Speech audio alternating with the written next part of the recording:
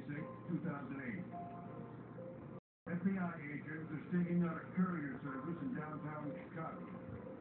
Inside is the bait for the sting operation. A of loan documents designed to lure a serial bank fraudster named Michael Boyce. He's already confessed his con in another state. March 2008.